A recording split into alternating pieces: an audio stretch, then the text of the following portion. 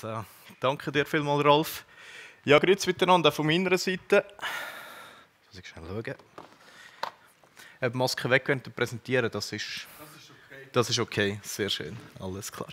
Ja, der Rolf hat schon sehr viel vorweggenommen, ähm, was wir sind, äh, wie wir sind, wie wir ein bisschen funktionieren. Ich werde schnell zwei, drei Ergänzungen vielleicht dazu beisteuern. Schnell einfach so vorab zu meiner Person, Andi Meier, Leiter Gebäudeinformatik FHNW, ähm, Single Point of Contact in dem Sinne auch äh, zu der Firma Kilchmann. Das heißt, bei mir ist eigentlich Gesamtprojektleitung, ähm, was den ganzen Umbau von der AV-Anlagen bei der FHNW angeht.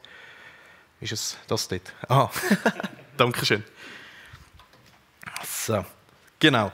Ähm, und in dem Sinne bin ich eigentlich immer an vorderster Front dabei, wenn es um Projektentscheid geht, wenn es um konzeptionelle Aufbauten geht von diesen AV-Anlagen, wo wir jetzt schon zumindest in einem Proof of Concept haben können aufbauen die letzten paar Monate. Ähm, und was jetzt das, nächste und auch die folgenden Jahre noch, noch weitere Anlagen wird geben an den verschiedenen Standorten der FHNW. Ähm, ja, schnell einfach zu der FHNW ganz generell. Das ist einfach eine kleine Agenda, die ich aufgeschrieben habe. Ähm, die FHNW als solches hat vier Trägerkantone und besteht gesamthaft aus neun Hochschulen. Man kann sich natürlich vorstellen, wenn man die Namen schnell durchschaut, da hat natürlich jede Hochschule auch ein anderes didaktisches Konzept, basierend auf, ihrem, auf ihren jeweiligen Fachbereichen. Ähm, und da gibt es natürlich schon gewisse Unterschiede, die sich dann auch bei den AV-Anlagen unter anderem ähm, niederschlagen. Das merkt man sehr, sehr gut.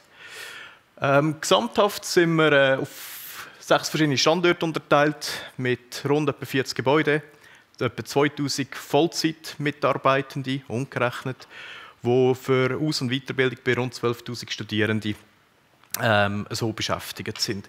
Unsere Gebäude momentan, ich habe schnell nachher nachgeschaut, ähm, haben eine Hauptnutzfläche von etwa 250.000 Quadratmeter.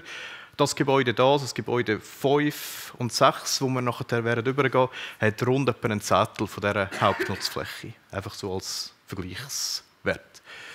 Ja, Ihr seht es, genau, Gebäudeinformatik ist auch immer so ein schwieriger Begriff. Was ist das? Was ist das bei der FHNW? Ähm, man hat das schon mal probiert zu definieren. Äh, also, einerseits ja, sind es IT-Dienstleistungen, die nicht bei der Corporate IT angesiedelt sind. Kann man so machen. Äh, greift aber auch teilweise ein bisschen zu kurz. Auf der anderen Seite ist es eben auch äh, einfach das komische Zeug, das quasi irgendwo in den Gebäuden verbaut ist, aber irgendwie nicht zu der IT gehört. Aber Gebäudetechnik, äh, wir haben, wir haben nichts zu tun mit Heizungsanlagen beispielsweise, was das angeht. Ist es auch nicht. Grundsätzlich sehen wir uns als äh, generelle Ansprechpartner bei der FHNW für die AV-Medien, ich habe das ein bisschen aufgelistet, ähm, die ganze elektronische Zutrittskontrolle, digitale Signaletik, wir haben gewisse Aufgabengebiete in der Bibliotheksbetrieb bei uns innerhalb von der FHNW und äh, unser FH-Card-System, wo jeder Angehörige von der FHNW, das betrifft Mitarbeitende, Weiterbildungsteilnehmer, Studierende, äh, aber auch externe Dienstleister oder Honorarempfänger, die eine sogenannte FH-Card bekommen, wo wir darauf verschiedene Funktionen ähm, und Dienstleistungen, wie beispielsweise unser Zahlsystem, äh, darüber abwickeln. Glaube, viele Hochschulen oder Vertreter kennen das von ihren jeweiligen Betrieben so oder so ähnlich wird das überall etwas sein, schätze ich mal einig. Ähm, ja, äh, es geht da schon eigentlich um richtige AVS weiter. Äh, ich habe rund etwa 15 oder 16 Folien vorbereitet für den heutigen Nachmittag das lange, da kann ich eine Stunde lang darüber erzählen. Problemlos. Das ist aber nicht das Ziel äh, oder Zweck oder Ziel. Da hat der Patrick Harman schon von Anfang an ähm, eigentlich gesagt, wir wollen euch etwas zeigen, wenn wir schon der FHNW sind. Oder dass wir auch mal irgendwie so ein Hands-on Projekt oder ein, äh, ein, Proof of Concept können demonstrieren wenn wir schon da sind, äh, ist das absolut sinnvoll. Ähm, und das machen wir jetzt in dem Sinn eigentlich auch. Die Präsentation wird dann in dem Sinn auch so weitergeführt. Wir werden im anderen Raum ähm, sehr viel auch ähm, Fragen können beantworten. Also ich bin da relativ Freestyle unterwegs. Ich gehe nicht davon aus, dass ich jetzt da alle 16 Folien werde präsentieren. Das ist nicht das Ziel und Zweck, so funktioniere ich nicht. Ähm, sondern ich habe gerne eigentlich einen, einen sehr offenen und sehr direkten Austausch mit Ihnen allen, jetzt, später, im Chalet, wie auch immer, dass sich das nachher wird etablieren. Der Patrick, nehme ich du hast mir schon eine Einladung geschickt. Wir werden das an einem Teams äh, kurz schnell mit meinem Laptop demonstrieren, nachher, wenn wir im Gebäude oben sind. Äh, wir werden einen kleinen Spaziergang machen, von da aus die grosse Stege drauf bis in den dritten Stock kommen. Ähm, die, die nicht so gut zu Fuß sind, haben da quasi quer dazu gerade einen Lift, wo man mit in den dritten Stock hoch kann. Und dann laufen wir ins Gebäude 6 über. Ähm, gibt auch viele Sachen, interessante Sachen, die man dort vielleicht sieht. Das sind vielleicht auch noch weitere Fragen, die man im Anschluss beantworten können. Äh, oder auch heute Abend beim Nachtessen. Da bin ich relativ offen. Ja, das ist soweit mal als Einführung von meiner Seite. Ich würde vorschlagen, wir machen uns auf den Weg in dem Fall. Ähm, und dann sehen wir uns im anderen Raum. Hin. Ähm, designen, ähm, auch mit der Hilfe der Firma Kiel von Ingenieuren weil Corona hat voll durchgeschlagen. Äh, bei uns haben eigentlich alle Standorte, alle Hochschulen, alle Dozierenden haben nach hybriden Möglichkeiten geschrauen, effektiverweise. Ähm, ich nehme an, wir sind ein Großteil alles Techniker. Das ist manchmal nicht ganz immer so einfach zum gerade da handeln, oder? Äh, das braucht manchmal eine gewisse Überlegungen. Ich habe häufig, häufig, häufig habe ich schon äh, Telefonate von Hochschuldirektoren gehabt, gerade bei so einer Anlage, die wir runter gesehen haben, die jetzt auch schon ein paar Jahre auf ihrem Buckel hat, wo man gesagt hat, ja, könnte ich dort einfach eine Kamera anhängen und dann ist gut. Was ist eigentlich das Problem, oder? Äh, eben, die einen, die jetzt anfangen lachen, die wissen, von was sie reden, oder? Was das angeht. So einfach ist es tatsächlich nicht. Oder? Ähm, ja, wir sind da dahinter gegangen mit Vertretern von praktisch allen Standorten, die ihre jeweiligen Betriebe eigentlich sehr gut kennen. Es waren technische Leute gewesen, in erster Linie mal einig, wo wir auch gesagt haben, okay, was für Anforderungen haben wir jetzt? Gerade mal rein vom Präsenzunterricht her. Oder was kennen wir von eurem Betrieb, was es auch zukünftig wieder muss geben nachher. Da haben wir relativ viele Diskussionen geführt von wegen ähm, der, äh, Auflösungen von, von, von der Matrik, vom Beamer, ähm, von wegen Scaler, von wegen äh, Blackscreen und so weiter. Muss es das geben? Braucht es immer noch? Braucht es immer nicht? Was für Anschluss brauchen wir? Der Rolf hat vorhin gesagt, 2010 ist VGA das mal verdient. Klar, wir haben einfach nur einen Beamer als Decke gehabt, Fernbedienung und das Kabel. Gut, ist. Von dem sind wir natürlich jetzt nicht nur Jahrzehnte weg, kann man jetzt so sagen, sondern auch Generationen effektiverweise. Oder? Das ist einfach so. Ähm, und das ist eigentlich wirklich quasi die nächste oder sogar übernächste Generation von AV-Anlagen, die wir an der FH so haben, vom Stand, wo wir drunter schnell gesehen haben, kurz, spitz, ähm, hat es auch an den verschiedenen Standorten mehrere Zwischenschritte geben, mehrere vielleicht auch ein bisschen Eigenkreationen. Und unser Ziel ist tatsächlich, unser Auftrag vielmehr ist es auch, dass wir standardisierte Anlagen, AV-Anlagen, über alle Standorte an allen Hochschulen von der FHNW haben. Ähm, das bedingt gewisse äh, Flexibilisierungsmöglichkeiten, was Anschlüsse und so weiter ähm, angeht. Es bedingt aber auch gewisse hybride Möglichkeiten. Ähm, weil es Corona auch gewissermaßen bedingt, insofern. Ähm, aber auch quasi in Bedienerfreiheit oder quasi in Barrierefreiheit für sämtliche oder für alle Nutzenden, sagt das Dozierende, sagt das Studierende, irgendwie so. Und das ist eigentlich, ja, eben, es ist schon einfach ein paar Anforderungen, ganz kurz und spitz. Wir haben irgendwie eine Anforderungsliste von, ich glaube, weit über 100 Punkten, wenn ich es so richtig weiß, Rolf, oder? Ähm, und sind dann eigentlich dort drüber gegangen und haben angefangen, Komponenten für Komponenten zu evaluieren. Das ist von der AV-Matrix hergegangen. Das ist vom Tisch hergegangen, weil es auch verschiedene Versionen gibt bei uns aktuell noch. Ähm, wir haben Beamer-Shootouts äh, in Basel, wo wir etwa vier verschiedene Typen nebeneinander zusammen aufgestellt haben, wo wir Qualität und Handling und Feldeigenschaften und so weiter eigentlich bewertet haben. Ähm, und eigentlich uns so für, für die jeweiligen Produkte nachher eigentlich gesamtheitlich entschieden. Das ist äh, äh, sind eigentlich immer demokratische Entscheidungen insofern, äh, wo wir da durchgeführt haben. Jetzt, äh, der Rolf hat eigentlich schon sehr viel gesagt zum Tisch und wie der funktioniert und so weiter und so fort. Ich zeige mal ein bisschen, oder ich gehe noch ein bisschen darauf ein. Ähm, das hier ist effektiverweise ein vollausbaut, eine voll, vollausbaute Anlage. Die ist nicht zwingend bei uns im Unterrichtsraum regulär so anzutreffen. Es gibt, zwei, es gibt mehrere Gründe dazu. Einerseits haben wir da hinten, können wir noch dran noch Chance, um das zu anschauen. Eine Schublade mit einer Mikrofonanlage. Das braucht man in der Regel in so einem Unterrichtsraum nicht. Also, ich nehme an, ihr hört mich einigermaßen gut, sogar mit Masken. Also, irgendwie eine Audioverstärkung von meiner Stimme ist in dem Sinne eigentlich relativ ähm, untypisch. Der Rolf hat es gesagt, wir haben hier innen jetzt äh, zwei Mikrofone, also kannst du Balkon, das Deckelmikrofon, zwei Kameras, die einerseits dazu dienen, zum Mehr aufnehmen. Äh, man sieht es da halbwegs in dem äh, Teams-Fenster drin. Ähm, was man jetzt eigentlich gerade für einen Ausschnitt sieht. Andererseits ähm, gibt es aber auch äh, die Möglichkeit zum Umschalten, respektive zum quasi äh, Plenum zu sehen, also euch jetzt in dem Moment nachher, wo ich aber eigentlich, die Kamera nimmt das jetzt auf, wo ich aber auch immer noch quasi den Winkel kann verstellen oder anpassen, aber ich kann einfach Default-Setups, die ich entsprechend nachher wieder kann, kann zurückstellen. Das ist eigentlich so der Punkt. Für uns ist eigentlich wichtig, dass die Anlage modular aufgebaut ist. Wir haben das gleiche Problem wie viele andere Hochschulen auch. Wir haben Corona nach wie vor, äh, eigentlich schon viel zu lang. Äh, und wir haben aber auch den Aufschrei nach Hybrid. Aber wie viel Hybrid eigentlich? Alles. Ein Teil, weniges.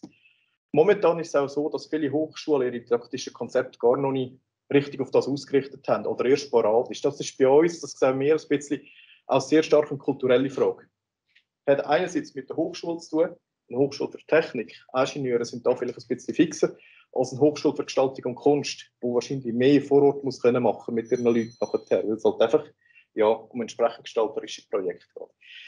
Und das haben wir in dem Sinne eigentlich auch berücksichtigt, dass wir modular eigentlich die Anlagen so können verbauen können, ich sage es mal so, für einen Präsenzunterricht. Das heißt, ohne Kamera, ohne Mikrofon. Das heißt, dass, dass ich kann einlaufen kann, kann meinen Laptop oder was auch immer anhängen, sagt das mit USB-C. Aber es gibt natürlich tatsächlich immer noch Geräte, die vielleicht noch nicht gerade USB-C haben, die vielleicht noch älter sind. Und darum ist es eigentlich die Alternative gewesen, dass wir quasi auch HDMI äh, Anschlusskabel haben. Dass man vielleicht auch andere Geräte, wo vielleicht nicht mal ein Laptop ist, nachher auch so kann, kann einbinden. Nachher. Vielleicht ist es ein älteres Tablet, wo vielleicht auch mit dem Adapter auf HDMI nachher, Apple hat da noch gewisse Produkte im Umlauf, äh, dass wir einfach eine möglichst äh, gross, äh, grosse Konnektivität können gewährleisten können. VGA ist gestorben, kann ich gerade so sagen. Definitiv jetzt. So, das ist etwa das. Wir haben es, ich kann das schnell vielleicht auf der Präsentation zeigen. Patrick, du musst intervenieren, wenn du nicht siehst oder irgendetwas musst wissen. Du jetzt gerade noch schnell das Screenshare für dich. Alles klar. Bis jetzt verstand ich dich äh, klar und deutlich.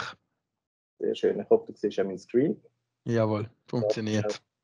Ein kleine, wie gesagt, ihr, ihr seht da, wir haben da eigentlich schon ähm, einfach gewisse, gewisse Sachen, die ich eigentlich da schon im Freestyle-Modus schnell erzählt habe, was Anschlussmöglichkeiten und so weiter angeht. Ähm, was Bedienung angeht, was für eine Steuerung da drauf läuft, äh, das ist äh, eigentlich alles Crestron. Also äh, die Matrix ist von Extron, ist in Crestron Steuerung drauf äh, und wird mit der Crestron Fusion äh, läuft das Monitoring. Das sind so die, die grundlegenden äh, Sachen, die da drin sind. Was wir uns auch dafür entschieden haben, wir haben eigentlich alle AV-Anlagen werden nur noch über Touchscreen bedient. Wir haben noch gewisse ältere Sachen, die noch Hartknöpfe haben im heutigen Zeitalter mit gewissen Flexibilisierungen oder einfach ist es einfach dann schwieriger, um noch gewisse Funktionen nachher rüsten. Und darum haben wir uns grundsätzlich für eine Touchscreen-Lösung entschieden. Bei Einzelprojektionsräumen, wie hier, ist 7 Zoll, Doppelprojektionen, weil wir dort noch weitere Einstellungsmöglichkeiten gerade mit Projektoren haben, ist 10 Zoll Screen. Das ist ein dick grösser, der mehr Platz bietet für entsprechende Buttons. Ähm, hybriden Unterricht, das ist eigentlich alles Sachen, wo wir eigentlich auch so mit der Hochschule gegangen sind. Ähm, und da sieht man dann, ich hoffe halbwegs vernünftig, ähm, genau, sieht man die einzelnen Komponenten. Das ist auch nicht viel Neues, sage ich jetzt mal ein, ist für viele ähm, von euch, wo wir sicher mal einfach eine, äh, eine Matrix haben, entsprechende Audiolösungen, DSP und Verstärker. Äh, die Anschlussmöglichkeiten, auf die bin ich schon eingegangen. Dockcam, die hat der Rolf schon schnell erklärt und entsprechende Kameras. Da haben wir jetzt zwar nur eine visualisiert, effektiv sind es effekt, äh, so zwei. Ähm, einfach, dass wir die verschiedenen Blickwinkel so ähm, super können abbilden. Je nachdem gibt es natürlich auch optional eine Mikrofonanlage, wenn der Raum ein bisschen größer ist, dann halt einfach gewisse Stimmverstärkung braucht. Ähm, oder je nach Größe natürlich ein oder zwei ähm, Projektoren. Das ist eigentlich ganz kurz zu dieser ähm, Folie. Was ich eigentlich auch zeigen sind die verschiedenen Ausbaustufen, die wir an der irgendwie so da haben. Es geht eigentlich alles immer von dieser Anlage da aus. Wo, ich sage jetzt mal, eine Ausbauvariante 1 ist eigentlich gedacht für Vorlesungen, Seminar, Präsenzunterricht, ohne irgendeinen hybriden Anteil. Ich kann euch die Anlage hier vorstellen, so wie sie da ist, ohne Kamera, ohne Mikrofon, ohne den Kontrollmonitor. Der zeigt mir eigentlich, ihr könnt noch gerne rundherum laufen und das anschauen, welche Kameraeinstellung ich jetzt gerade drin habe und das erlaubt mir eigentlich vorweg, das hier innen zu korrigieren vom, vom Bedienen her. Also es ist absolut nachher frei, ähm, um das auch auszuprobieren, um das anzuschauen, jetzt oder auch ähm, nachher spielt mir eigentlich keine Rolle, da bin ich recht offen. Ausbauvariante 2, die wir so äh, bestimmt haben, ist vom Use Case her für Streaming ähm, oder Aufzeichnungen angedenkt, grundsätzlich. Das ist insofern für einen Dozierenden, der Input liefert und die, die daheim sind, quasi den Input empfangen. Das heißt, es findet keinen interaktiven Austausch von Studierenden, die da rein sind, äh, zu Studierenden, die daheim sind, statt. Also rein vom didaktischen Konzept her. Das bedeutet eigentlich, dass wir wieder den Tisch haben, wieder die Anlage, aber mit einer Kamera, der dort, wo der dozierende Bereich aufnimmt, und dem, und dem Mikrofonbalken, wo auch der dozierende Bereich aufnimmt. Das Deckenmikrofon dort ist vom Use Case her angedenkt, dass man auch quasi Audio-Inputs kann von Studierenden aufnehmen oder zu den Studierenden heim oder im Zug oder im Bus, wo auch immer können, äh, zu übertragen. Das beinhaltet dann effektiv die Ausbauvariante 3, das hybride Setting, ähm, gemäß dem wissenschaftlichen Ansatz ganz streng genau, wie das denn eigentlich so ist. Da sind wir auch gewisse Begrifflichkeiten noch intern am Klären. Da haben wir immer so äh, gewisse Missverständnisse gehabt in der Vergangenheit. Was denn jetzt eigentlich ein hybrides Lernsetting bedeutet oder eben nicht genau nicht bedeutet. Und das ist bei uns eigentlich die Ausbauvariante 3. Ähm, in dem Sinn, dass wir zwei Mikrofone haben und zwei Kameras, das eigentlich recht eine umfassende äh, Interaktion von den Studierenden und den Dozierenden, unabhängig wo sie sind, ob vor Ort im Raum oder irgendwo die unterwegs oder einfach quasi ähm, remote, wenn man es so sagen. Optional hat es einen ganz kleinen Balken unten dran noch, äh, Funkmikrofon, das habe ich schon angetönt, äh, je nach Größe vom Raum, oder halt einen zweiten Beamer im Rahmen von einer Doppelprojektion. Das sind so die, äh, die Ausbaustufen, wo wir grundsätzlich bei uns ähm, so unterwegs sind. Ähm, ich habe extrem viel geschnurrt jetzt. Gibt es Fragen von eurer Seite? mir fällt auf, dass in der Ausbauvariante 1 keine Lautsprecher gezeichnet sind. Gibt es denn auch Räume, wo gar keine Lautsprecher haben, wo man also nicht einen Filmton kann abspielen zum Beispiel? Ist, Oder irgendeine Quelle abkommt? Ist, ist eine sehr gute Frage. Das habe ich jetzt ganz, ganz elegant übergeben. Nein, es gibt keine Räume, die in dem Sinne keine Lautsprecher haben. Bei diesen Anlagen. Wenn es vielleicht historisch noch gibt, mag das das mag durchaus sein, dass wir noch alte Anlagen haben in gewissen alten Gebäuden, die tatsächlich keinen Lautsprecher haben. Also ich sage es effektiv, äh, Beamer an der Decke, ähm, VG-Anschluss, Fernbedienung, so nachher. Das gibt es noch äh, bei gewissen Standorten. Äh, sind wir aber in dem Sinn auch am ähm, Eliminieren oder Ausrotten nachher. Standard ist tatsächlich, dass es Lautsprecheranlagen gibt, ähm, auch gemäß dem Schema da. Es ist aber tatsächlich so, das haben wir lang und breit schon diskutiert, der Rolf sich da auch sehr gut daran erinnern, nachher, ähm, dass wir, ich sage es mal so, die vorhandenen äh, Audiolösungen, so, also was Lautsprecher angeht, nach Möglichkeit weiter weiterverwenden. Nachher. Das hat sich meistens schon bewährt. Da wäre es jetzt wahrscheinlich relativ einfach, um irgendein anderes System ähm, zu installieren. Wir haben aber Gebäude, die tatsächlich Deckenlautsprecher eingebaut haben. Also Alten ist jetzt beispielsweise so ein Fall, die, die schon mal dort waren, die kennen das die haben Deckenlautsprecher. Und dort ist es nicht einfach so easy peasy, zum Beispiel einfach andere Lautsprecher zu installieren. Und dann tut man eigentlich bei einem Umbau von so einer Anlage tut man auch prüfen, was ist quasi für eine Lautsprecheranlage vor Ort vorhanden, dass man allenfalls einen, einen anderen Verstärker oder so entsprechend einbauen tut, wo wieder Stand der Technik ist. Das ja, aber die Lautsprecher werden nach Möglichkeit ähm, weiterverwendet. Oder, wenn keine vorhanden sind, entsprechend dann nachher gerüstet. Das ist eigentlich das. Ist die Frage beantwortet? Oder ja.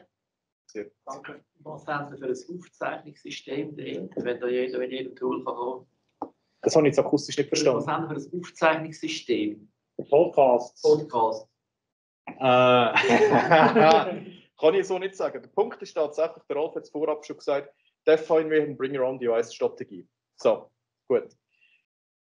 Der Punkt ist der, ich, meine Aufgabe, ich muss eine Anlage können zur Verfügung stellen, die möglichst flexibel ist. Das ist sie. Was ihr jetzt als Dozierende vielleicht dorthin kommt und sagt, ich tue mit einem System oder mit etwas anderem aufzeichnen, ist mir eigentlich, das ist für mich kopfig gesprungen. Das könnt ihr einsetzen, was ihr wollt. Da gibt es gewisse Hochschulen, die Vorgaben machen. Da gibt es gewisse Dozierende, die sich das Tool gewöhnt sind ähm, und die das einfach einsetzen. Vielleicht gibt die Hochschule gar keine Vorgaben oder, oder irgend so etwas nachher. Da sind wir recht offen. Also eben, will ja bring your own device nachher. Meine Anforderung ist einfach das. Ich liefere ein, ein funktionierendes System. Bedienung und Einsatz, was da drauf läuft, ist Verantwortung vom Dozierenden. Oder da kann ich nicht irgendwie back bring your own device, ob jetzt das quasi ein Windows-PC ist, ein Mac oder irgendeines gar mit einem Linux-System kommt. Ich kann nicht alles supporten, das geht einfach gar nicht. Oder? Meine meine Kompetenz hört dort auf, wo der Anschluss da aufhört, nachher. Ich empfehle einfach für FHNW, da FHNW hat, dass sie überlegen, was sie für ein Aufnahmesystem brauchen, Gesamtabteilung. Da könnt ihr ein grösseres Projekt bekommen, wenn ihr das nicht geregelt von Anfang an. Das ist tatsächlich so, das sind aber politische Fragen, die wir alle zusammen wahrscheinlich auch sehr gut kennen, wo zuerst dort mal einiges ähm, äh, klären Ich für meinen Teil bin schon eigentlich froh, dass der politische Entscheid vor ist. Wir haben ein einheitliches AV-System, oder was da sagt. Äh, Podcasts und so weiter. Wie gesagt, das ist kulturell vielleicht auch noch nicht überall einheitlich durchgesetzt. Wird sich vielleicht auch nicht bei allen Hochschulen, bei uns zumindest, einheitlich durchsetzen, aus bereits schon genannten Gründen, weil das vielleicht auch nicht immer didaktisch so einfach umsetzbar ist. Hochschule für Technik, Wirtschaft, wahrscheinlich nicht einmal so, so eine grosse Hürde. Hochschule für Musik, etwas ganz anderes. Darum ist es immer so ein, ja. Das Setting ist theoretisch gemacht, hat man Ausgänge, also auf einen extra SMP-Podcast-Recorder könnte man einbinden, dass ich HDMI-Ausgänge an dieser Kiste hier. Äh, das Setting ist, ist sehr mächtig, als vorhin gesagt, so hat man früher Häuser aufgebaut, ist auch natürlich finanziell mächtig, da muss man sich nicht vormachen. Äh, das ist äh, der, der Vollausbau, wie man heute einen Unterrichtsraum machen kann. Und äh, die wichtigste Frage ist, aus meiner Sicht, was ist das Wichtigste für den daheim? Vor Qualität. Das, das muss er mitbekommen von dem hier. Was ist Key? Ton und Content. Er darf nicht benachteiligt sein zu denen, die vor Ort sind, heisst es so ein bisschen. Genau. Das Allerwichtigste, dass er das nochmal mitmacht haben, ist der Ton. Darum haben wir hier auch so viel äh, finanzielle Mittel in, in Ton investiert. Man könnte problemlos sagen, das Mikrofon ist immer offen, das nimmt hier mehr auf. Technisch kann das Mikrofon noch mehr aufnehmen.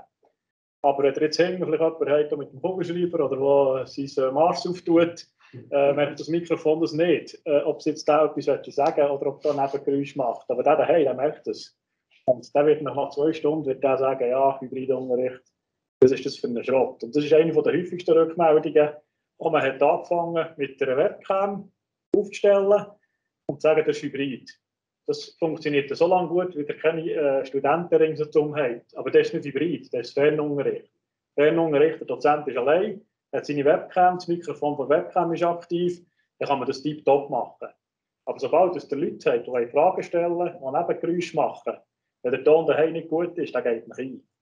Und da haben wir doch ein paar Versuche mit der Berner Fachhochschule gemacht, sie legen dort sogar ein Kopfbügelmikrofon an und wir haben mal unterschieden, wie ist die Qualität. Und er hat doch die Lehre gesagt, das ist klar, das ist keine Diskussion. Wenn der Ton nicht gut ist, dann ist das hybride Setting nichts wert. Das Kamerabild ist das Schwächste. Das ist, äh, geht es darum, dass man sieht, dass ich nicht so viel Haar habe. Äh, das äh, lenkt schon absolut. Ähm, aber das muss man nicht einmal wirklich eine gute Kamera haben. Hier ist jetzt die Kamera so, die kann automatisch äh, könnte die noch tracken. Äh, das ist eine gute Kamera und wichtig ist auch der Content. Wenn ihr Folien wollt abfilmen dann laufen drauf. So ein Setting, wenn der Patrick äh, jetzt nachher im Homeoffice das per Kamera abfilmt, dann könnt ihr keine einzige Schrift lesen. Und keine Kamera vor der Welt bringt das sauber her. Wandtafel. Die Wandtafel ist relativ gut machbar zu übertragen, sofern das Schrift nur gross ist. Weil in Wandtafel schreibe ich Welten so, ich sehe so hier nicht. Das ist echt schon so, wenn man es im Unterrichtsraum gut sieht, muss man es daheim ja gut sehen. Und wenn man sie hier nicht kann lesen kann, dann kann man sagen, ja, und dann muss der im hybriden Setting, ähm, aber darf nicht benachteiligt sein und das ist ja nicht. Das können wir dann der Visualizer einsetzen. Und genau. Das dort schreiben, nicht auf der, auf der Wand haben. Bei gewissen Fachrichtungen bin ich nicht dabei. allen. Ja, es gibt, es gibt durchaus natürlich Dozierende, die dann halt eben gar keine Wandtafel brauchen, sondern ein Blatt Papier unter den Tag haben und dort schreiben nachher. Aber eben, ist auch wieder eine Abhängigkeit vom, vom didaktischen Konzept äh, und auch ein bisschen halt kulturbehaftet. Das setzt der Flippy, wo man dann wieder kann Content rauslassen kann. Ja, das ist, das ist das andere. Bedient, bedingt aber auch tatsächlich wieder eine, eine gewisse erweiterte Kompetenz vom, vom, vom Dozierenden, dass er mit den technischen Mitteln kann umgehen kann. Ich sage es mal so, genau so, wie er im Teams, in einem Webex oder so, muss können das Mikrofon umstellen und schon das ist für gewisse Dozierende ein Hürden. Also, äh, wenn man noch Samsung Flip oder irgendetwas anderes ins Spiel bringt, kann es dann knackig werden für die einen oder anderen. Also das ist eigentlich auch das, äh, wo wir jetzt auch in den letzten Monaten sehr stark gesehen haben, dass es auch um Kompetenzerweiterung den Dozierenden kann gehen. Die einen tun sich schwer, andere sind da jetzt schon, die haben Fernunterricht betrieben mit einem Greenscreen und zwar schon auf semi-professioneller Ebene, oder, wo man teilweise staunen nachher. Und da gehen eigentlich die Befähigungen oder Fähigkeiten von Dozierenden, was technische Kompetenz massiv auseinander. Wirklich massiv. Also das sehen wir da bei uns im täglichen Betrieb, aber das kennen ihr alle zusammen auch, würde ich jetzt mal so behaupten. Das ist nichts Neues für euch, auch für euch nicht. Das ist das Wichtigste. Das ist, hier ist keine Bedienung.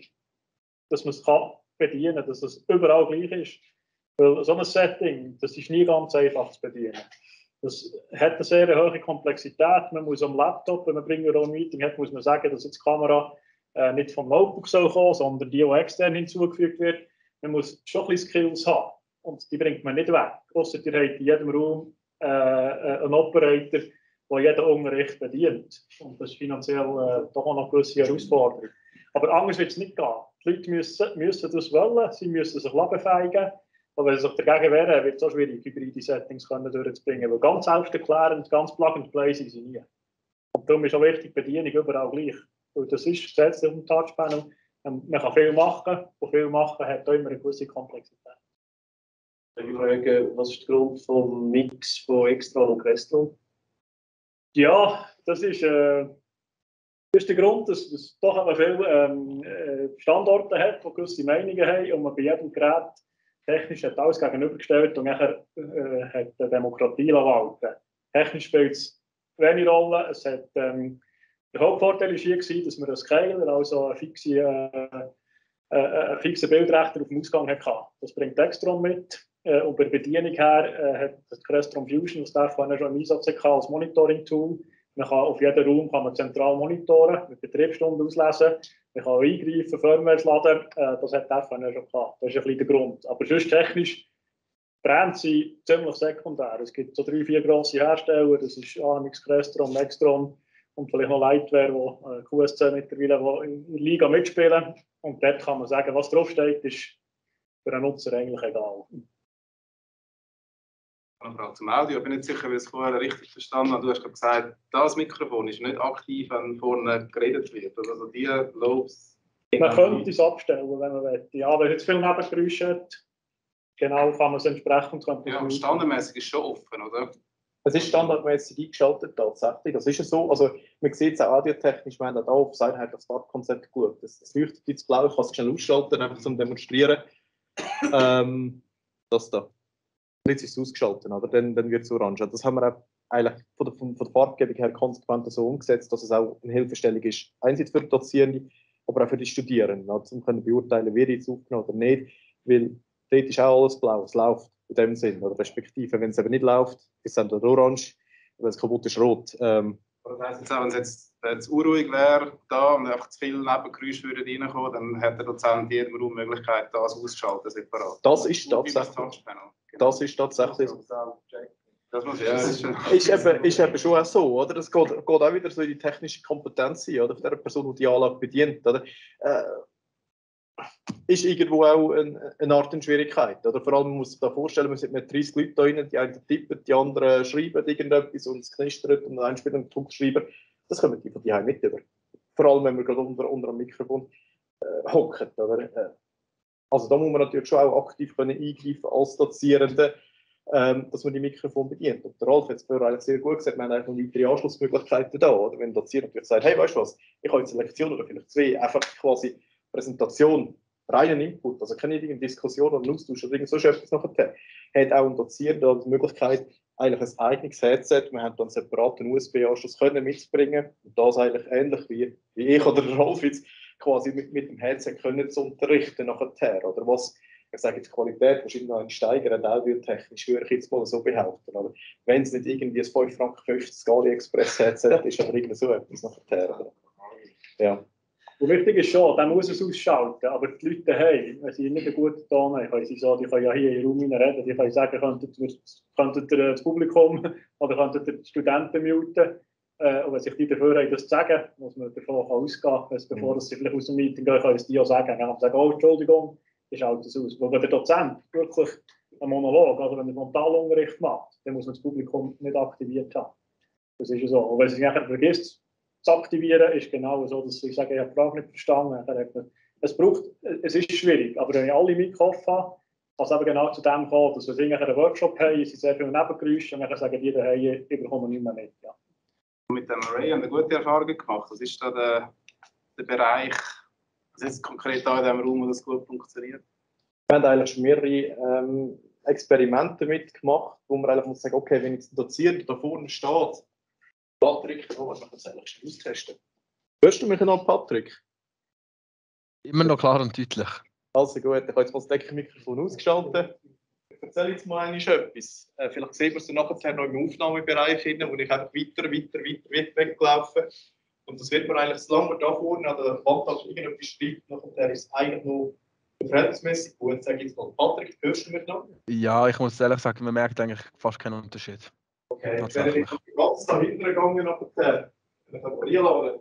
Und noch irgendwie dazwischen steht, wird es langsam schwierig, oder? Das Ja, jetzt wird es jetzt wird's kritisch. Also entweder habe ich jetzt schlechtes Internet oder äh, die Das ist das Übertragungsqualität vom... Und ist super, Thema. ist die Frage beantwortet, oder? Ja. Ja. Ähm, wenn ich daheim bin, kann ich selber entscheiden, ob ich kann man anfangen mit. Ja. Wo ich reinkomme, Ja. sieht es wieder anders aus. Mhm. Wie ist das erledigt? Haben an der Tür, Kamera, haben wir eine Frage rein, wenn wir einen äh, Arbeitsvertrag oder einen Studienvertrag unterschreiben. Oder ist das auch ein bisschen ähnlich wie Bring Your Own Device, Bring Your Own äh, Policy, betreffend Bilder für eigene Aufnahmen?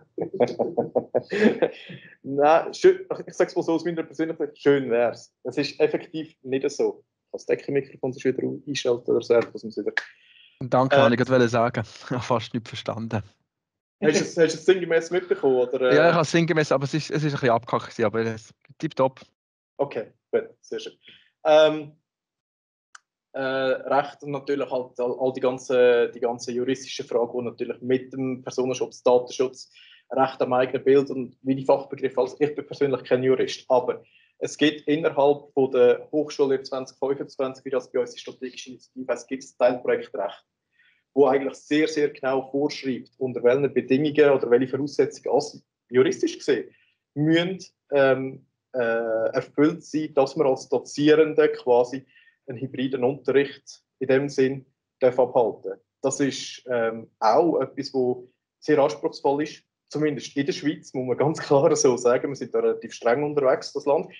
Ähm, äh, und es ist tatsächlich so geschrieben, dass der Dozierende die Person, die doziert, ähm, dass sie die Verantwortung ist, dass man quasi die Einwilligung von den Leuten, die im Raum teilnehmen, ähm, einholen tut. Jetzt ist natürlich die Frage, jetzt, jetzt, das, das sind jetzt so Fragen, die jetzt auch in den jeweiligen Hochschulen separat diskutiert werden. Quasi, halten wir die Einwilligung schon bei den Studierenden am Anfang, wenn ins Studium eintreten, dass man es einfach einig pauschal abholt? Oder wo man es organisatorisch so, dass man für jede Lektion einzeln dozieren das muss ab, abholen. Also das ist mehr dann eine politische Frage, wo jede Hochschule für sich selber muss diskutieren und das dann auch ähm, operativ muss umsetzen. Und sie sind daran verpflichtet, so einfach ist es, oder? Ähm, aber grundsätzlich ist das sehr, sehr streng geregelt. Einfach auch, dass wir, äh, in, äh, dass wir nicht mit unserer Schweizer Gesetzgebung in Konflikt kommen. Also, das ist nicht einfach irgendwie eigene Policy und passt dann schon. Oder? Meine, der, der Rolf hat eigentlich eingangs eigentlich auch schon quasi, wir machen Bilder, wir machen Videoaufnahmen, ist für alle okay. Äh, so ähnlich wird es auch bei uns müssen funktionieren nachher. Ganz effektiv. Ist die Frage beantwortet? Ja. Ähm, das ganze Setting klingt jetzt danach, als wenn das äh, stark auf Frontalunterricht ausgerichtet ist. Also Frontalunterricht kann ich mir prima vorstellen, funktioniert prima Mhm. und äh, auch Referate oder sowas. Aber wie handelt ihr das, wenn Gruppenunterricht ist, wenn die, die äh, ja, 30 Studis in Fünfergruppen eingeteilt werden, äh, die dann Gruppenunterricht machen sollen? Äh, wie, ich meine, es ist ein systematisches Problem an und für sich. Aber äh, habt ihr da Lösungsvorschläge oder Ansätze oder wie habt ihr das gedacht? Es ist, es ist ein didaktisches äh, Problem, effektiv, in dem Sinn, oder, was das angeht.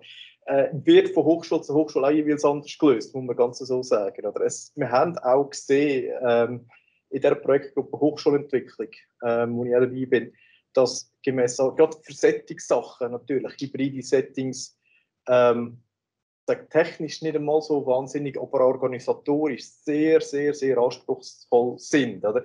Also das heißt, wenn man jetzt natürlich da, ich sage jetzt drei, vier Künstler hat mit Gruppenarbeiten und die haben noch eins 15 Personen, wo jeder noch eins irgendwie, ich sage vier Gruppen nachher bildet, die können sich die ja selber einem Raum treffen, virtuell und ihre Aufgaben so er- erfüllen und auch da innen nachher präsentieren. Das ist in dem Sinne nicht so ein wahnsinniges Problem.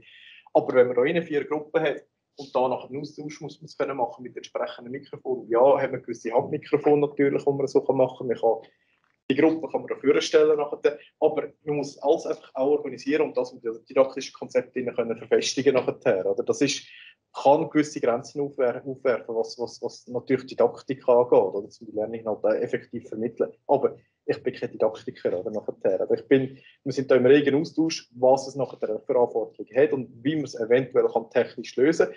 Wir haben auch schon gesehen, dass natürlich gewisse Mikrofonlösungen einfach technische Grenzen gesetzt sind, dass man es einfach nicht praktikabel kann umsetzen kann. Darum mit dem muss man dann auch irgendwo können leben. Oder? Das ist eigentlich der Punkt. Äh, am Schluss kochen alle mit Wasser, oder? wir sitzen da wieder. Vor Kollaboration ist noch ein so, sind noch da zwei äh, Touch-Monitore da in kleineren Gruppen. Könnte es sein, dass man da im eigenen Workshop-Raum ist und man auch in Team-Session reinkommt. Äh, aber das Erlebnis ist schon nicht ganz das gleiche. Es gibt auch Microsoft Whiteboard-Applikation und der daheim, sobald es wirklich sehr intensiv kollaboriert wird, ist irgendwann ist im Nachteil, da kann man technisch noch, noch alles bringen. Er ist schon immer ein bisschen spät. Das sehen wir auch, wenn wir Geschäftsleitungssitzung haben und einer ist daheim, alle anderen sind vor Ort, der daheim, der verliert immer. das ist, äh, das haben wir auch mittlerweile entschieden, dass wir, äh, dass wir äh, bei mir ist ein Sekundenbruchteil verzögert und der Tom von ihm ist auch ein Sekundenbruchteil verzögert. Aber es längt, dass man teilweise Diskussionen den Start nicht findet, weil der hat der andere und man muss immer warten, ja, ich bin jetzt fertig, dann gehe ich rein und dann ist schon wieder vor Ort ein anderer, der Und das sind Themen, das hat mit der Latenz, die sehr klein ist, aber wo, wo zweifelsohne äh, existiert, zu tun. Und gerade in wirklich ähm, Zusammenarbeitsworkshops macht man dann gescheiter, dass alle hybrid dabei sind oder dass, dass alle äh, vor Ort dabei sind. Ich habe noch eine Frage zur Präsentationsmöglichkeit, gerade wenn man von Gruppenarbeiten redet, dass zum Beispiel eine Gruppe ihre Arbeit jetzt auf den Beamer bringt. Mhm. Ich sehe nichts vom Clickshare-System bei euch, einmal in diesen drei Varianten. Ja. Oder gibt es Räume, das auch noch dazu? Als Beispiel. Seminarraum nicht. In Seminarräumen gibt es nicht heute. Und zwar, wir haben tatsächlich mal Möglichkeiten angeschaut. Das war noch sehr am Anfang letztes Jahr, gewesen, wo wir die vorhandenen Möglichkeiten mal eigentlich, oder was zumindest der Markt dazu mal hergegeben hat, tatsächlich mal angeschaut haben. Die technischen Lösungen von damals sind, haben, nicht, haben uns nicht überzogen. Das hat mehrere Gründe gehabt. Einerseits ähm, äh, haben äh, wie soll ich sagen, eine Lösung ist, ich weiß gar nicht, wie das Produkt heißt, hat nachher der hat beispielsweise den Präsentationsmodus im PowerPoint nicht zugelassen. Also ganz banale Sachen. Nachher, das sind wirklich so Grafiksachen, wo Windows und Clickshare und so weiter. Und dann gibt es natürlich, wir haben in gewissen Sitzungsräumen haben wir das Clickshare-System nachher, aber dort haben wir auch immer wieder ein Problem mit den Funkfrequenzen, äh, wo wir uns müssen vergegenwärtigen müssen. Ähm, das jetzt gerade im 2,4 GHz und im 5 GHz Bereich ist einfach WLAN. Also bei uns ist es so, wir haben es relativ streng geregelt, dass im 5 GHz Bereich sind noch gewisse Kanäle frei. 2,4 GHz ist voll. Also sobald Clickshare 2,4 GHz abschreiben, schaut man nicht an. Punkt fertig. Und dann wird die Auswahl dann schon langsam, langsam irgendwo auf eine Art und Weise eng nachher. Eben, wenn der nachher noch irgendwie sagt, hey, aber weißt du was, irgendein Präsentationsmodus PowerPoint muss im Fall drin liegen und so nachher. Also wir haben jetzt, äh, letztes Jahr haben wir nicht, keine technische Lösung gefunden, wo wir so breit in den Seminar haben können ähm, einsetzen äh, zu, zu dem Zeitpunkt. Auf die andere Seite muss man sagen, ja, okay, Dozierende XY kommen sie her, hängen sie USB-C an oder HDMI, als die Präsentation. Technisch gesehen hat das System die Möglichkeit, das Präsentationssystem einzubinden. Hier ist der Betriebsgedanke, dass wir keine Lösungen gefunden haben, die für alle 100% gestimmt Es gibt Clickshare-Fans, es gibt Mercy Source Spot, äh, Fans, äh, das ist von den Funktionalitäten alles Wireless Presentation und Details macht das da aus. Äh, bei Clickshare gibt es auch die Möglichkeit, dass man eben keinen eigenen WLAN-Channel macht, sondern dass man es über die bestehende Wireless-Infrastruktur fahren Das ist äh, technisch möglich. Ähm, das ist, der irgendwann ist dann nachher auch so, manchmal gibt es noch Bring Your Own Device, noch ein drahtloses Device ohne ähm, USB-Dongle anschließen und manchmal sind ganz viele Punkte oder Ausschlag gegeben, dass es eben nicht Clickshare ist, sondern Mersive oder, oder noch ein anderes System.